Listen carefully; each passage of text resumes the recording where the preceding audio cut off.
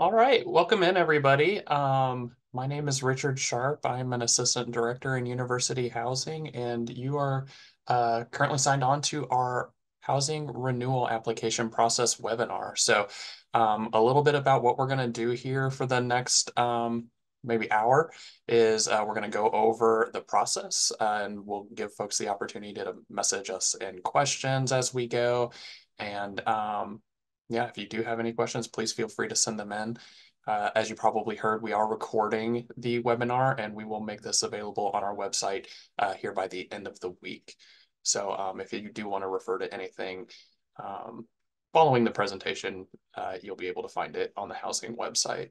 So I will let my colleagues introduce themselves and then we will go ahead and get started.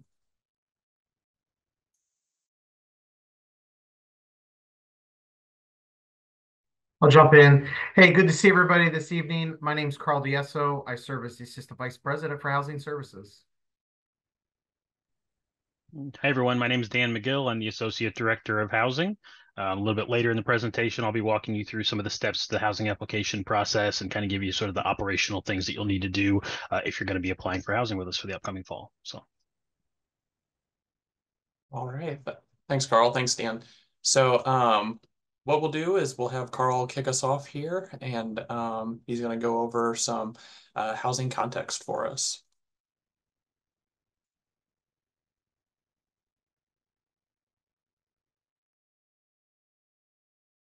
Richard, real quick before I get going, um, if you wouldn't mind commenting for everybody, if they have, have questions um, as we're working through the webinar, how can they get those to us? I know we'll have a question and answer period towards the end, but just as they're thinking through and listening, I'm sure they'll be taking notes, giving some guidance here.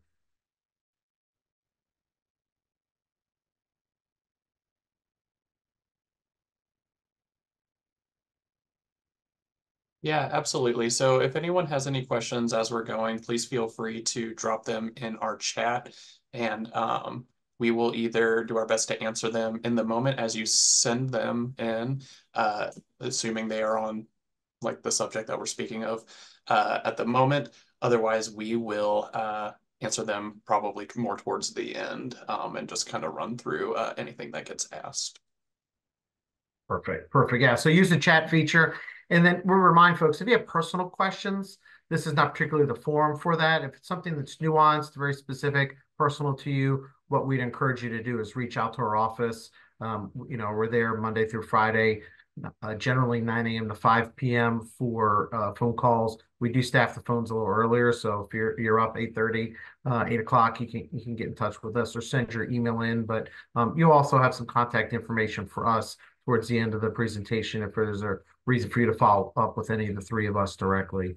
Uh, but just want to make sure you're aware how that works tonight and, and how we'll be handling questions. So there are some opportunities for live in the moment, uh, but then we'll definitely be open for Q&A towards the end.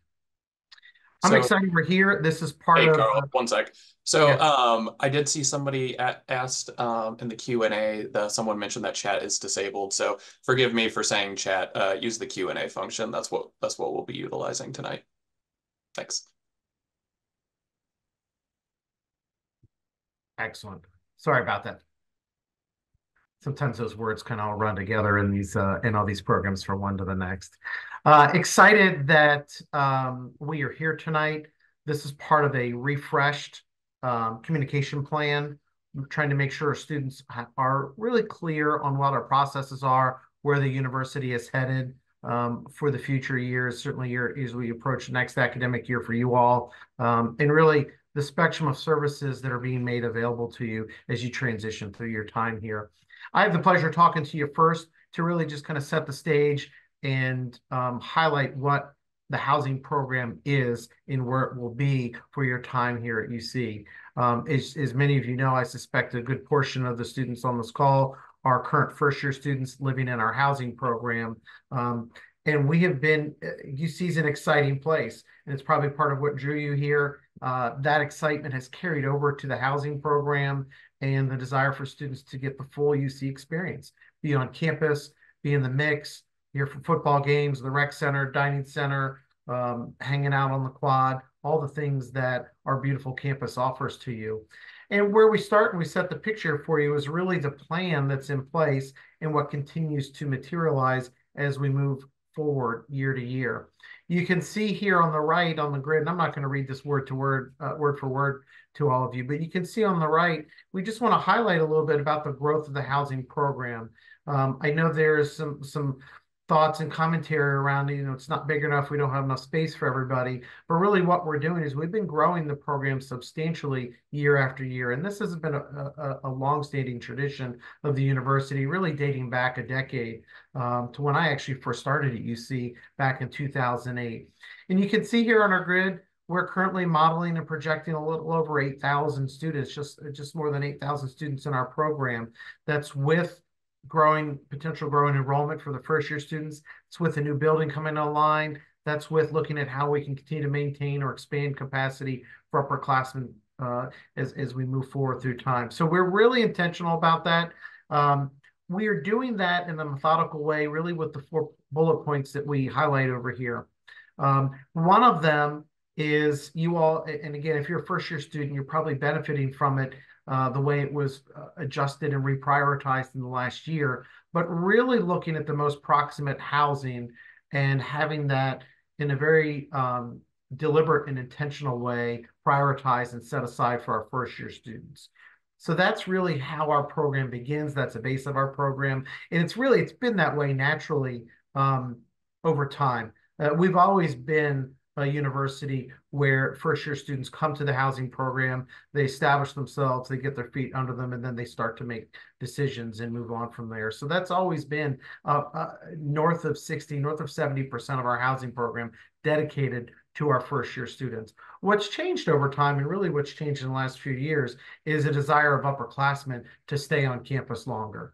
Um, and that's been something we've been trying to navigate and really what pushes us towards the next level for the university, the next phase of master planning and designing our program. And you can see that's where we start to talk about new development. The university is active trying to build more beds. You can see here there's some initial plans for 2,000 beds coming near term. Um, that's not for next fall. That's a few years out as it takes time to design and construct those. But that's just our first pass. There'll be buildings beyond that where we continue to add that'll provide more opportunities for first year students, more opportunities for upperclassmen, and more opportunities for graduate students because we're just seeing renewed interest from everybody to be in Clifton and be part of the, the Bearcat community. The other piece that's uh, going on here as we look at the portfolio is how we um, look at the future of the campus. And I think that's something you're probably hearing and seeing a number of uh, of different academic units in different parts of the campus really really study ask questions survey questions come out about is how do we maximize um, our space how do we make sure it's the most efficient for you all to have your experience and, and move around campus, but not lose the flavor and not lose the excitement of what has been built from before us. Uh, so there's some opportunities there with housing. Most notably, we do that when we look at space within buildings. Where are there rooms that are designed to house a few more people that we haven't had to do that in the past. There's some rooms that were designed as triples. We've operationally decided to do it as trip as doubles. Um, they might be returning back to triples. Sometimes we have rooms where we can add that, uh, or we can convert. You know, most notably, you probably see it as other other universities end up in the paper as well. Talk about lounges or other spaces that are built as flex spaces and can be converted. So we go through that exercise every year, particularly when we tie to a chart like this where we look at the growth.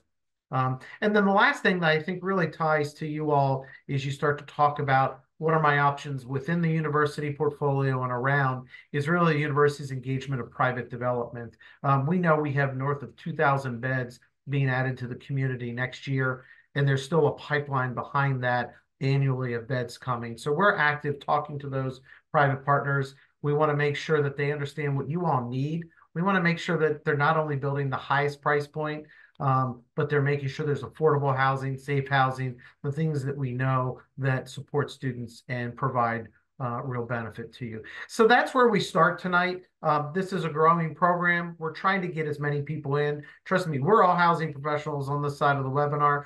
Our goal every day is to put somebody into our program. That's what we want to do. Um, we think we've designed a program for you this year that will get um, will again meet all of that need as we work through the process. Will it meet everybody's desires on day one? Probably not. Um, there are more students, more upperclassmen than we have beds allocated. Dan and Rich are going to talk through that a little bit um, today, but um, we've got an active plan, just like we had last year and in prior years, when students end up in a, in a holding pattern, how do we communicate with them? How do we educate them, provide them options, and, and you know, ultimately move them in our program when space becomes available? Carl, we have a question in the chat. Um, so uh, is making a housing more accessible to upperclassmen a priority? It is, um, right? So when you fit into the the kind of the spectrum there, we've always been a first year housing program first. Um, and then it's making as much space available for upperclassmen as possible. Um, you know, we've been fortunate uh, a number of years past where we've just had excess capacity and it's been able to be wide open. We're just not in a, a, condi a condition to do that right now. So we've got to create some additional rules to help you all know where do I line up? Uh, do I have a chance? Do I not? What I can commit and guarantee to today, and I apologize if this wasn't clear, is everybody that expressed interest to us, we will work hard to try and find an option for you. Um, again, it may not be in round one of the process. It might be round two or round three, but we will keep working. As long as you're telling us that you're looking for it, we're going to keep working to get it to you. I can't guarantee it. Um, you know, if we would, we would just have you all sign up and get everybody assigned on day one, but we will do our best. Um, and I think that's when I talk about the spectrum of services. Uh, hopefully, you all were aware of, and, and many of you also attended the student government housing fair that took place last week. That's part of those series of events of trying to help you all understand the options that are out there with the university in the local market. There's still there are still plenty of apartment spaces left, leases to be had, um, decisions to be made uh, within Clifton or in the surrounding areas, and we want to make sure you're taking advantage of that uh, all the way through. All right, thanks, Carl. So, um, I will discuss our next topic. So uh, I'm going to overview just a couple of important pieces of information um, to be aware of uh, as we go into the renewal process beginning. So the first piece uh, that I do want to highlight is that um, our current uh, projected, you know, capacity for renewal application process is going to stay consistent to what it was this year. So, you know, uh, th there has been some discussion of, you know, there's a housing, you know, not enough housing for folks who want it and everything. And so I do want to commit to everybody on the call that we are keeping housing um, flat and consistent with what uh, we are providing this year. So I think that's positive. Um, the renewal process I do want to highlight is limited to our current residents. So if you currently live in our communities and university housing, you are eligible for our renewal process. Um, and uh, the um, assignments process as we do go into it, and Dan's going to talk a little bit more about our specific timeline for um, how the process is going to flow through renewal. Um, but uh, if you know, as we go through that assignments process, we will be giving some additional priority to our uh, students who are expressing interest in returning to live with us based on their cohort and based on their honors status. And um, those locations that are available in the renewal process are primarily going to be in um, some of our lease locations. So, you know, uh, as you think of those communities, it's going to be places like our uh, University Park apartments, you know, 101 Corry, um, a, a, lot of those more apartment style communities.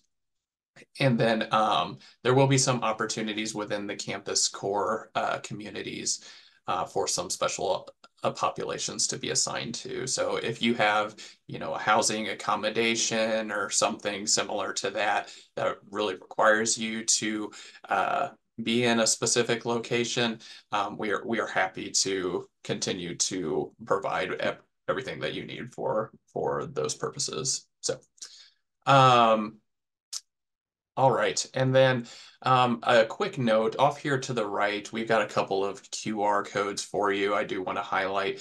Um, the top one is a link to our housing renewal page that does overview all of the processes that we're discussing tonight. It's got the timelines, it's got how we make decisions. We are really looking to be as transparent as possible and as clear as possible and what our process is looking like. So um, I do want to give a caveat with the QR code. Um, we are uh, excited to be in a couple of days uh, rolling out a new organization of our university website. I think it's going to be a lot more clear and clean and easy to find pieces of information. Um, this uh, QR code is not going to work in a couple days, um, but uh, we will continue to highlight where this information can be found um, on the housing website so that you can easily access it. So wherever we post this uh, video, we'll be sure to make sure that it's clearly linking to the housing renewal page on our website. All right, so um, the other pieces that uh, I do want to highlight here on this slide is, um, you know, while we are setting aside 1,500 beds for our renewal process, we are still um, encouraging everyone uh, to really consider all options in the uptown neighborhood. So, you know, Carl mentioned the off-campus housing fair that undergraduate student government hosted la uh, last week um, continue to explore uh, all of the different leasing companies, agencies, uh, nearby apartment complexes. Um, as much as we want to get everybody into our facilities as possible, um, it is good uh, to uh, be sure to have some backup plans just in case we aren't able to get absolutely everyone who expresses interest with us. Um, and then uh, if you are interested in uh, pursuing some of these other options in the Uptown area, we do have a housing resource search page. Um, and that's that bottom QR code on this uh, on the screen right now. Um, this will this can re really be used to help you find uh, other nearby options and um, see what's available out there. So um, kind of the same thing with the above QR code. Um, this this QR is not going to work in a couple days, so I'll make sure that the the new location for this information is clearly highlighted um, when we post this recording. All right. Um, do we have any questions we uh, want to touch base on right now?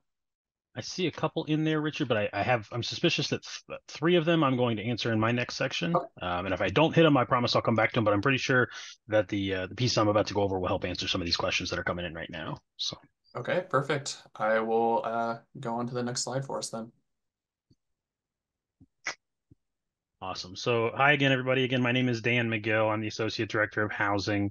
Um, my job is primarily housing operations. So, um, everything that you do with the housing office that has to do with the contract, the application, your bill, um, all the sort of nuts and bolts that that uh, come along with interacting with the housing office um, falls under sort of my purview. So, I'm going to walk through uh, with you all a bit of the timeline of what this is going to look like, and I'm going to hopefully answer some of your practical questions that I see coming in about specific buildings and how do I renew and how do I fill out this form and that kind of thing. Um, just to give kind of a, a brief overview and, and touch on some of the things that Richard said. The goal here is for us to be as transparent as possible and to make this as stress free as possible. Um, this is, as Carl mentioned, you know, we we want to grow our program. We want to provide beds for as many students as possible. Um, we want housing to be vibrant and thriving and that kind of thing. Um, but we do have an operating condition right now where we have a, a, specific number of beds that we have available to us. And so um, we know that that means that we may not be able to provide renewals for every single student that's currently living on campus. So um, what we want this to be is, is, is very transparent, very much um, upfront, provide you with as much information as possible, give you as much information as early as possible so that you know what your status is and what where, where you're at with it. Um, and you can make informed decisions um, about this kind of stuff. Our goal is also to make sure that as little of this process is time sensitive as possible, um, because we really don't want you to feel like you have to be skipping class or waking up early or anything like that to get on and do these kinds of things. There are some time windows when we want you to do things by and some deadlines because that's the way processes work. Um, but there's not none of this process is going to be first come first served um, by design. So with that being said, um, you're looking at some pieces right here. Um, that we will walk through. Um, the intent to renew form, which I saw a question come in about, is um, it's essentially still in the exact same place as the housing application. If you're familiar with where that's at on the housing portal, then you'll know right where to go. It is basically just a page at the beginning of the housing application that you will fill out before the housing application process. Um, this is our intent to make sure that the process is not first come, first serve this year. So on January 29th, this form will become available in the housing portal. Students that are currently living on campus with us right now can log in and can fill out this form. And that's the only thing that you'll need to do to get the process started. It takes place between January 29th and February 5th. Again, not super time sensitive, not come first serve. We do not want you to stress about it. We just want you to get on and do it at some point during that time period so that we understand how many students living on campus right now are seeking housing for the upcoming 24 25 school year. Hey, Dan, there's a question in the chat uh, that I think is good for this part. Um, mm -hmm.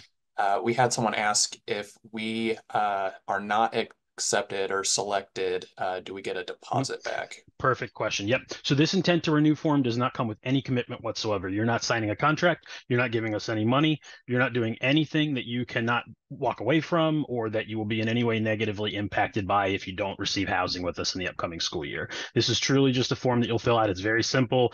Uh, it's a couple clicks let us know that you're interested. Um, we've got all your information already obviously in our system. So really you're just you're signing up and you're letting letting us know um, and we're getting you into that process. So there's nothing there's no harm to it. We're not taking any commitment from you or anything like that. It is truly just an interest form. Um, once we receive that information starting on february 5th we will essentially do a randomized process to start letting students know if you are able to um, fill out the housing application. There are some weighted criteria to it. Um, that's an institutional decision. Again, transparent as possible. We want y'all to know what's what's going on. Um, the weighted criteria are basically it's reverse order of class standing. It's it's the institution, housing, higher education in general um, shows that it's just it's better for students that are earlier on in their academic careers to live on campus and be as close to um, campus as possible and so the weighted criteria would be reverse order of class standing and then also there is some weighted criteria provided to the honors program as well, which is a small special group of students. Um, it's not going to take up a large portion of those 1,500 beds, but that is another criteria that would be applied to um, that process. And so we will randomize those folks. Um, and then you see there that we will start sending out notices to students to let you know if you're going to be able to fill out the housing application or not. We will get that information to you as early and as quickly in February as possible. You can see the timeline there so that we can start letting you know um, that by February 9th, we'll have everybody notified and students can log back in and start signing the housing application. So um, just to recap there, fill out the renewal form. February 5th is when that closes. We'll start sending out communication. You'll know from us no later than February 9th if you're going to be able to apply for housing for the upcoming school year. Um, so that will give you information early. You'll know what your, your status is.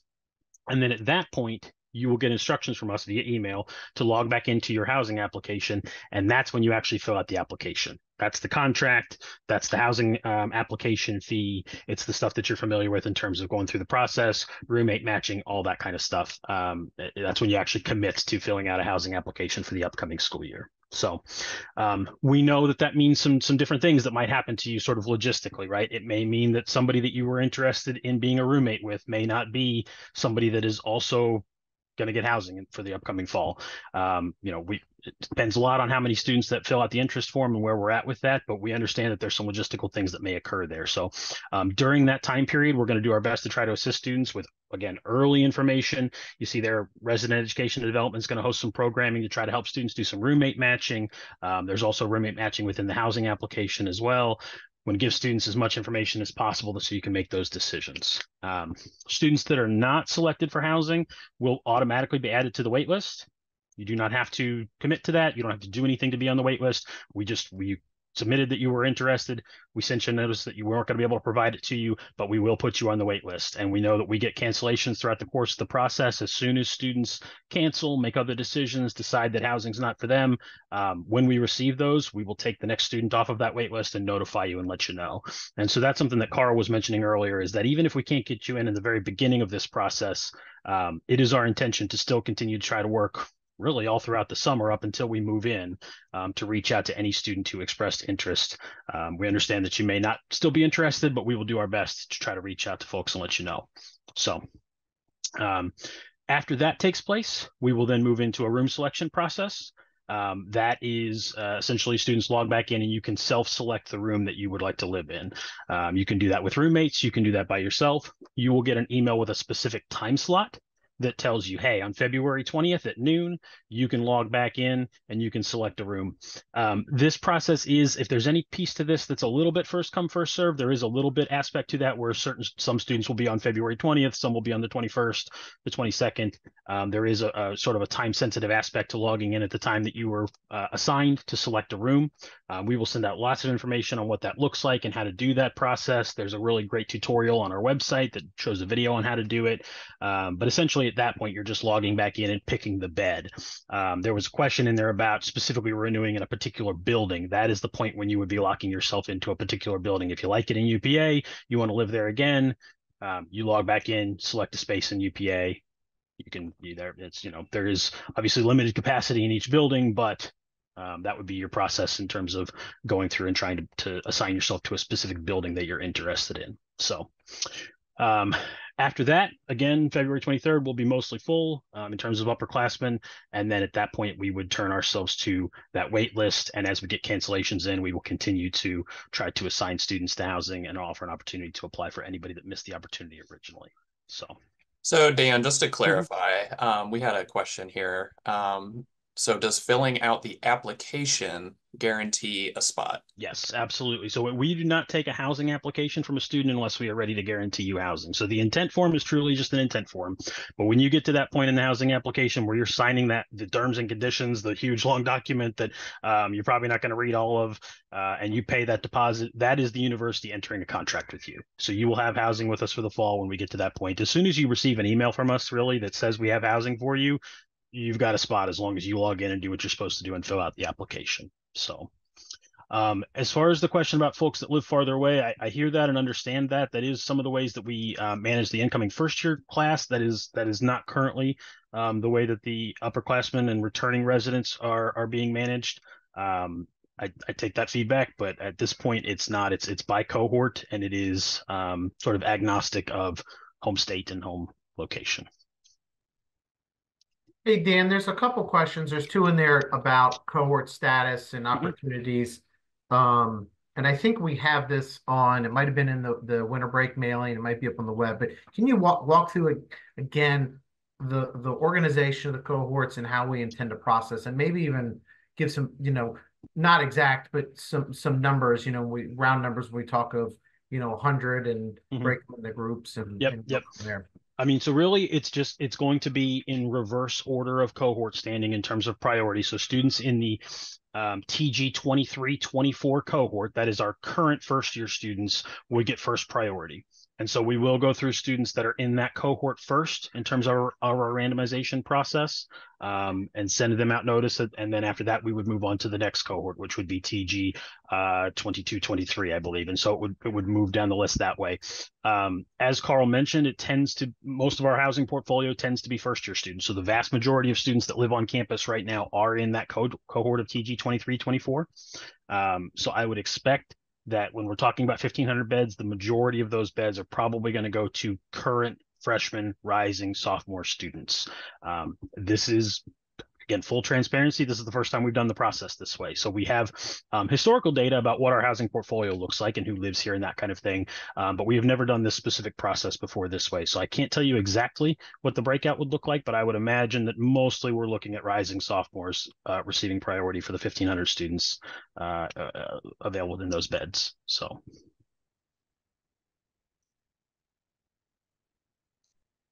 no, it's when we refer to cohort, we're talking really about um, you know the the the tuition guarantee cohort and the, the process that um, the institution has when it comes to bringing in cohorts of students. Um, and so it's really just about your class status and your class year. Um, but we, we've referred to it as cohort because it's not about how many credit hours you've received um, and whether you're truly a sophomore or a junior based on class standing and that kind of thing. It's your incoming first year cohort that you stay with essentially the whole way through your um, academic career here at UC. So if you are currently a first year student uptown, this is your first year attending UC, you are most likely in the 23 24 cohort, and that is a rising sophomore essentially. So Um, I think you can move to the next screen, Richard. I'll definitely keep an eye on the questions. I think the next screen's similar information. Um, yeah, I think this is really just kind of restated in a lot of ways. Um, and so there's some some uh, next steps that you need to take. Uh, the the biggest thing to emphasize, and I know I said this a couple times, but I will say it again, is is really just that that first piece there, January 29th to February 5th. If you're interested in living on campus with us, please just log into the housing application during that time. Um, you won't be able to access the actual application. It's just an intent to renew form. You'll fill it out. It takes two minutes. It is not time sensitive, other than doing it sometime during that time window.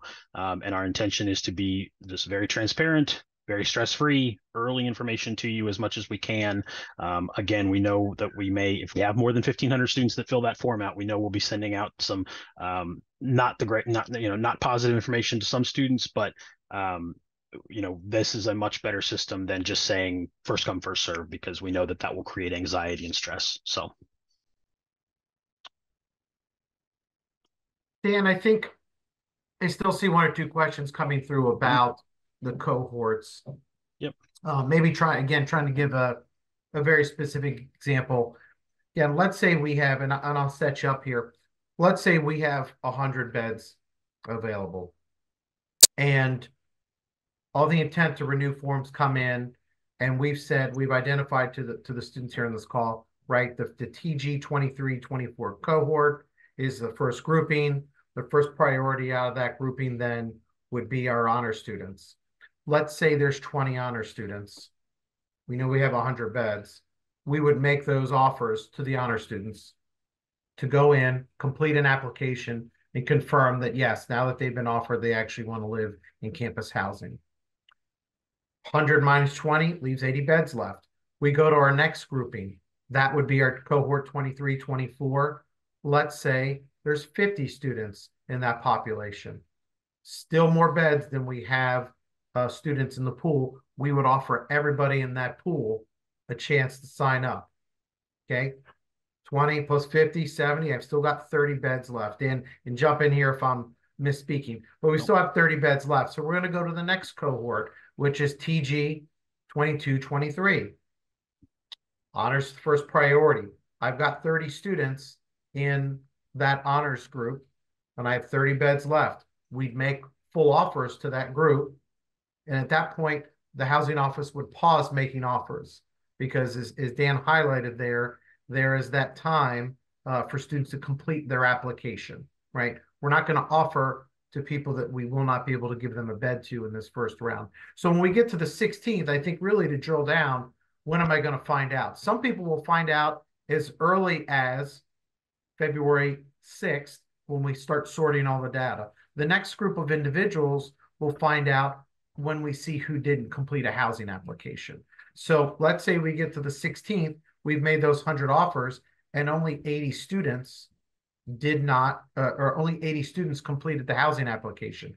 That now means we have 20 beds available. We're going to offer out right away to those students, uh, to new students, those 20 beds. And we just pick up where we left off in that priority list and keep offering.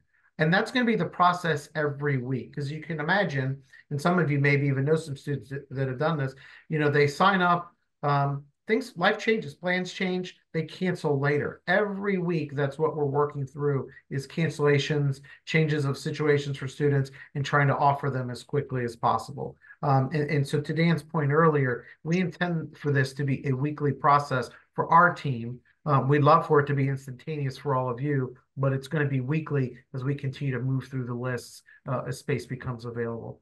I also noted about the prioritization in the first pass. I think the other thing I didn't drill down into um, is once we understand all the beds that are needed for first year students, and the university is working on those processes, how do we move those timelines up? How do we get real clarity uh, earlier in the summer about who's truly coming and who isn't? But once we know that detail, we're going to reallocate beds to upperclassmen. So that's why I say, and that's why Dan shared about automatically going to the wait list. We're not going to kick anybody out um, of expressing interest unless you self-opt out of it, right? We want to keep trying to meet that. So staying in there, um, I don't know what that volume is going to be. We're working towards that, but we do anticipate we'll be able to redirect some beds as we get into that assignment process in the summer and be able to pull some other individuals up. Again, I want you to hear, we encourage you to be active. Um, someone earlier had asked about, will there be beds left? Was there opportunities to lease? There are still apartments, there's still leases to be had in the community. You want to be active, you need to make a decision that's good for you, that puts you in a position to be calm and to work through the summer and not be concerned uh, or confused about where you're living. Um, that is a situation now. Is that going to be the situation in July that there's still plenty of leases to be had? Maybe, maybe not. Um, so that's why we want you to be active, do your research, use our website to find some information. Student government has some resources as well. Um, and again, reach out to other students. I think there's a good network here of upperclassmen. Hopefully, you all have a chance to meet some in your classes in groups, clubs, organizations that can also some provide some guidance about some of the local apartment communities and options that are available couple questions in here I can help crank through real quick. I'm just kind of working from the bottom. Um, the honors, the university honors program is a very specific program. If you're in it, you would be familiar with it. It is something that you have to apply for. You have to take specific classes to be part of. Um, it is is not based on your GPA or anything like that that you sort of automatically end up in. It is a, a specific program that you typically apply for as part of your admission to the institution. Um, and so that's a it's a very specific and, and sort of small program um, that we're referring to there.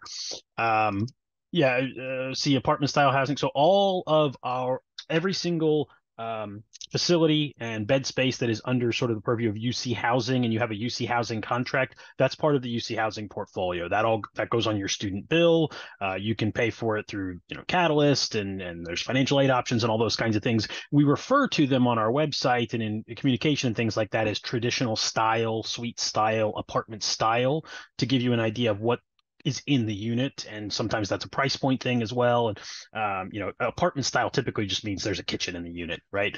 Um, but that's all still uc housing. The difference between a Morgens which is apartment style and a calhoun um, and even a location where we have leased beds such as the Deacon, which we refer to as apartment style. If you've got a contact a contract through us that you filled out um, the housing application, signed to the terms and conditions, that's UC housing, um, and it still goes on your student bill, and you can uh, financial implications are all the same regardless of which building that you're living in.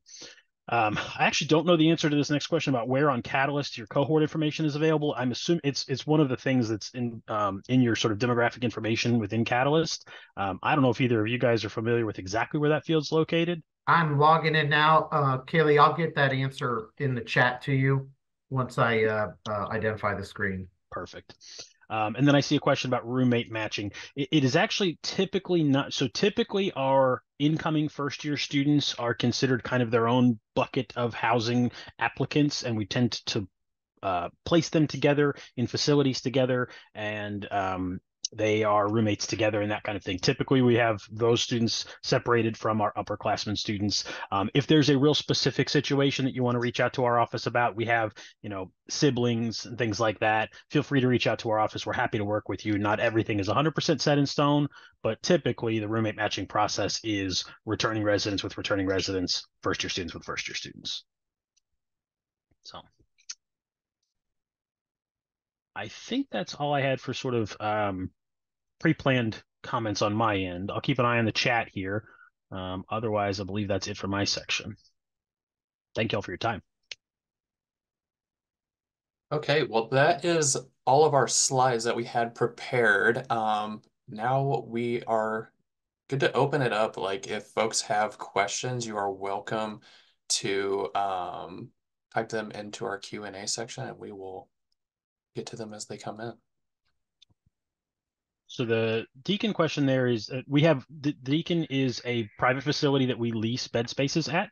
Um, so the students that live there through UC are on our contract and they're part of the UC housing uh, terms and conditions, but the building itself is not owned by the university. We we've leased the beds and then we lease them to students through our process, which is something that we have in a number of different facilities around campus. Uh, if you're familiar with U Square or CP Cincy, uh, places like that are in the same type of uh, situation as the Deacon as well.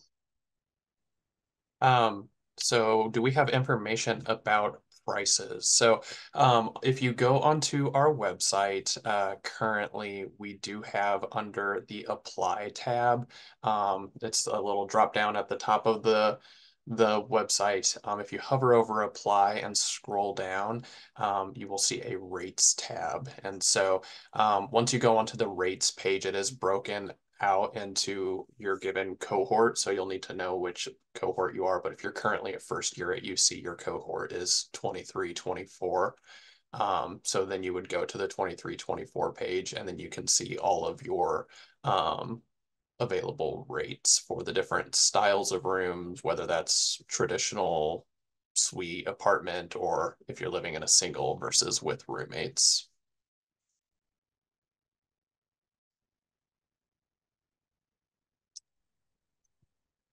Uh, running through a couple things here. Yeah, so yes, we uh, expect to and will almost certainly have um, the Deacon as an option for renewal students. Um, you will be able to select that as one of the locations uh, as part of the housing selection process. Uh, more generally, I see a question here about sort of reapplying to the same apartment style building you in, you're in. Um, let me just kind of review a little bit. So the application process itself and the contract for housing is slightly separate from room selection. So when you fill out the contract, you'll sign up for housing, you'll apply, uh, you'll uh, sign the terms and conditions, you'll pay your application fee. That's all the contract that basically says you've got a bed in the portfolio. Um, then shortly after that, you'll have an opportunity to log in and select from a specific bed space within um, all of the different options that we have. And so that's the point when you would have an opportunity to select from spaces at the Deacon, uh, a space at UPA. You know, if you if you're in a building right now that you really uh, want to stay in, that kind of thing. Um, I will say that there is some um, intent to have uh, buildings that are more proximate to the center of campus, campus core, those types of locations be for first year students. Um, so if you're currently in a, a, Daniels or a Dabney, for example, a more traditional style, sometimes people refer to as like a dorm style residence hall. Um, those tend to be more geared toward first year students and a first year experience. Um, so if that's your intention, that may not be an option for you when you go to renew your housing and, and select a specific bed space. Uh, but if you have a number of different options that you're interested in, that would be the point when you go through. Um, you've already signed your contract, you paid your application fee. You'll get something from us that says, "Hey, on February 20th at 11 a.m., you can log back in and pick your bed space." And then at that point, you would log in. You'll see all the different spaces that are available to you. If you've got a roommate that wanted to do this process with you, you can either create a roommate group or you can do it at the same time. You can pick from what we have available and select those bed spaces. And so when you fill out the application, you're not leasing a specific bed space in a specific building, you're just signing a contract with UC Housing, and then later on you're picking a bed space, essentially. Um, hey Dan, there's a question in here um, about only first years and in particular loans. Can you talk about our typical philosophy with allocation of space? Mm-hmm. Um, we've talked about priority, but you know, there's a lot of gray areas uh, yep. with what we do, and just so students can understand how we're trying to parse things out. Yep, yep. So we do a couple of different things. Um, one of the nice things about this, as much as we have talked about priorities for first year students and that kind of thing, when it comes to selecting bed spaces for the places that are open and available, upperclassmen do get priority on that. Um, first year assignments will not take place until much later into the summer. Um, and so when upperclassmen students, returning residents go through and select bed spaces, everything will be open and available to you that is sort of designated for a returning resident. Now, there is a philosophy that we have some spaces that are uh, more designed for first year students. So like I mentioned earlier, our traditional style residence halls, um, the university is taken to call them campus core locations that are more proximate to the center of campus are generally considered and designated for first year students. Um, upperclassmen students, returning residents, we generally try to assign to spaces that are considered a little bit more of an independent style living, more of your suite style living, more of your apartment style living, um, more of the um, leased locations that we've talked about in, in and around campus. Um, just uh, that's just typical philosophy in terms of which students need to get the most services and support versus which students um, uh, sort of know how to navigate campus a little bit more and have the ability to maybe have their own kitchen and cook their own food and that kind of thing as they move into their second, third, fourth years on campus, that kind of thing. So um, when you log in to select the bed space as part of the room selection process, you will see everything that you're eligible to assign to and everything that is currently available. And then for those returning residents, as I mentioned, those tend to be more of the suite style and apartment style um, sort of the a little bit more mature living environment. We had one question in um, the Q and A that I'd like to answer. Uh, it was, would students with a disability be, be prioritized for housing to meet their accommodations? So that's a really good question. Thank you for asking it. Um, so any students who have a uh, registered accommodation with accessibility resources that is uh, labeled as priority housing, um, we will be in touch with you directly to um, discuss how we can provide a space that uh, accommodates what uh, you've registered with the university.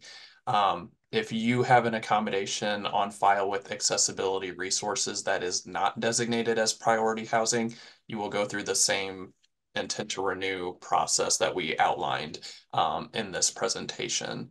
If you're not sure if your accommodation is considered priority housing, um, accessibility resources had said to us that you are more than welcome to give them a call, shoot them an email. They are happy to clarify whether or not your accommodation is designated as uh, priority housing. So thank you for that question. That was a good one.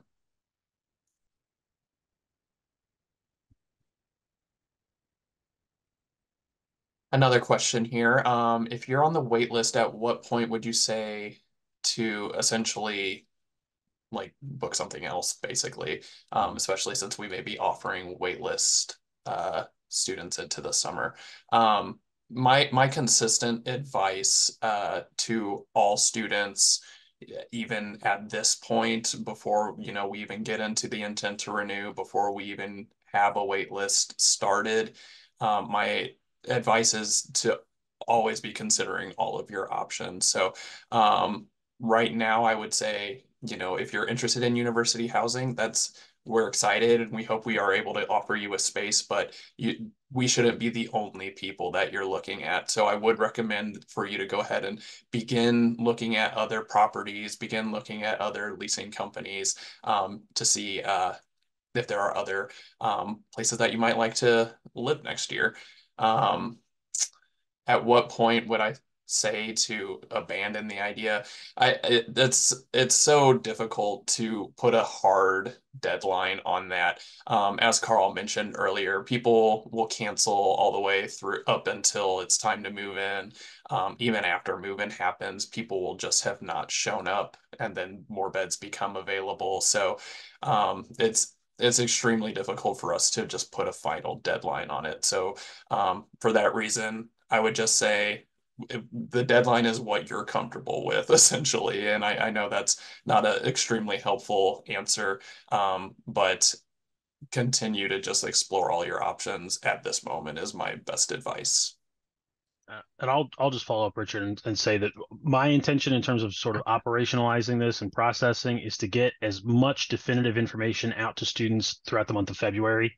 Um, again, that does not mean that we're going to stop working that wait list as we get cancellations in, but we want the majority of our work to take place in that month of February so that you have as much information as possible at that point. Um, as we move into March, it will truly be a day to day. We filled all of our beds, someone canceled, we'll offer the next person off the wait list if that helps a little bit.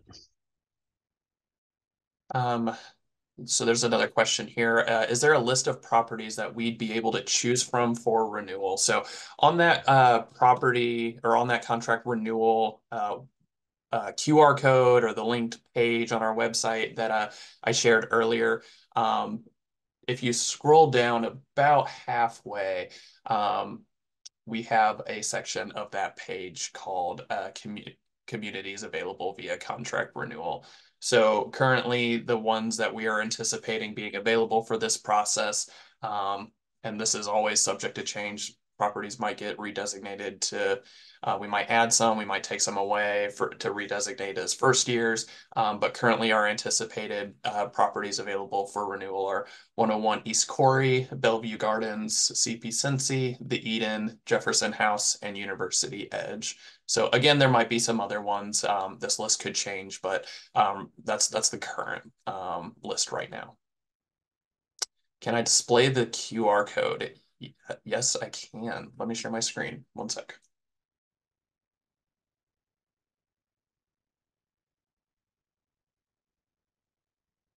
While Richard's um, pulling that information up, I will share some additional enhancements we have going on with the housing office in terms of connection and communicating with us. Um, we have uh, uh, added additional full-time staff, so we've been transitioning away from a student-led call center to a full-time staff uh, call center. Uh, we have four full-time operators, uh, coordinators that are that are online and available. Uh, we'll have be posting online extended hours during the application periods so that you have an opportunity to call in and connect with us live if you need to. Um, you can do that in a couple ways. One is a direct connection. You get in the queue and you work your way through to us. But our phone system is also advanced enough that you can leave a phone number and request a callback. You don't lose your place in line. Everybody gets lumped into a queue. And as an agent becomes available, our system will just dial out directly to you. Uh, we have a pretty good track record of being able to complete that uh, within one day's time, and usually same day. Uh, we do keep staff around later in the afternoon, particularly if the queue builds up, um, so that they can make those callbacks before we go home. We also have plenty, you know, if the phones do get busy, we have additional staff throughout the housing program and in uh, campus services that are able to log in and take part in that response and make sure that we've got appropriate resources available. But that's one thing that we're doing. Um, I'm also happy to share that, that we believe launching next week you will see two chat opportunities with us. Um, so the website will be able to handle some very basic questions. If you're not finding information quickly in your search, you can ask your question through a chat bot um, it's already in place on the admissions website. We're excited to be the next office into this new UC solution. Um, but it, it'll be able to answer very basic questions. And actually from a spectrum of offices, it won't, if you're on the housing website, it doesn't just answer housing questions. It'll also be able to answer questions about admissions, uh, about financial aid. There's a few other offices in there um, that it can redirect you to resources and, and help um, highlight information. It also, uh, we're going to be uh, activating one of the advanced features of it, which is a live chat. So there'll be designated hours. We'll have that posted on the website during application periods, during peak activity times. We'll have staff that's also dedicated to engage on a live chat. So if you just need to ask a quick question, it's not really worthy of, of trying to get on a phone or asking for a phone call back. Um, but it but it needs to be sooner than an email sent in and waiting for an email response back. We're going to have that available. We think that's going to, you know, substantially cut down on wait time trying to uh, communicate with our team. I see a number of questions in here about specific buildings and that kind of thing. So I'll give some general information real quick. So uh, as Richard mentioned, the website link that he provided is the best location to see current list of what we expect to be available for upperclassmen students. Um, I, I as I was talking, I realized I, I, think I was mentioning a couple different buildings. I wasn't even completely thinking about the different buildings. I was thinking about them more sort of as examples. Um, so that list is the one that's currently the most um, up to date. Uh, it is important to remember that one, those can change. A lot of this, again, is us trying to balance with enrollment transparency completely here, trying to balance with enrollment management, the number of incoming first year students we're expecting, what we think we're going to need for uh, returning residents compared to upperclassmen students. Sometimes that balance can change a little bit, right? Um, and so if we think that we are going to have the opportunity to provide additional returning students um, in a building such as the Deacon or U Square, we will adjust that list absolutely, and we will provide those opportunities for students as part of the room selection process. So what we have listed there is current. Um, and that is what would, would typically be available if we were launching the process today. If that list changes, we will update it. Um, some of these facilities are also blended when it comes to the number of the students that are living in those locations. There are different populations of students that need to live in specific locations, for example. Um, you know, there are um, you know, particular uh, athletics teams and things like that that have freshmen on them that live in lo- particular locations. There are living and learning communities that are designated in particular buildings that might be predominantly freshmen or upperclassmen, and those kinds of things sometimes don't follow the specific rules that we think we have in place for a building. Um, and so you may see that not every single one of these buildings is 100% this way or that way in terms of the way we assign students. It's a bit of a a blended community in some instances. So the website's always going to be the best place for the most up to date information. Uh, if those, our goal is to provide as many options and as much flexibility for returning residents as possible. And so if we can provide additional buildings, additional facilities that we can offer to you, um, that's where we will update those and provide those as well. see Richard is going through some answers there. So I will just quickly say it is 659. Um, so we'll stick around for about 30 more seconds if anybody has a last minute question you didn't get in, and then I think it's about time for us to wrap up. Um, I will, as I kill time in case a question comes in, um, just mention that if you have a specific question that you don't feel like we got answered all the way, or if there's something particular to you that you didn't get a chance to answer because it's unique to you, please reach out to our office. Carl just mentioned all the different um, uh, communication enhancements and things that we're doing to try to provide service to students. So feel free to reach out to us during business hours. Happy to get you via email um, or phone call or chat. Um, we can get your specific question answered. Um, make sure that we're getting those things to you. So. All right.